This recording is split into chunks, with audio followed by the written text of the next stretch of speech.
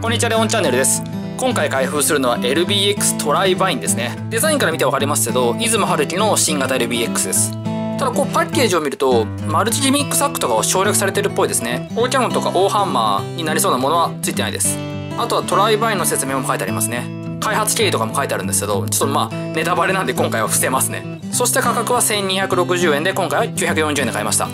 じゃあ開けます。もう箱がすんごい軽いですね。最近あのハイパーファンクションとかライディングアーマーとかの箱をよく開封してたんでそれに比べるとすごく軽いです。そして中は全然パーツが入ってない。こんだけですか？こんだけしか入ってないですね。ドットフェイサー並みにさっぱりしたパーツですね。ランナーの袋が2つとすぐ作り終わりそうな感じのランナーパーツが入ってます。シールも少ないですね。で説明書ですね。オーキャノンとか結構好きだったんですよね。やっぱりちょっとオーベインとは違う雰囲気になってます。もうちょっとなんか接近戦っぽいデザインになったんですかね。ただパラッと説明書を見る感じはマルチギミックサックに変わりそうな機能もありそうな感じですね。これは楽しみです。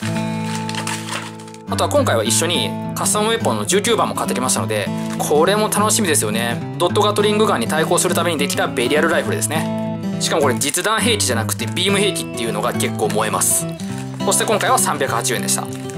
では今回紹介した LBX トライバインとカスタムウェポン19番の詳しい動画レビューをアップしましたら下の説明文リンクに貼っております。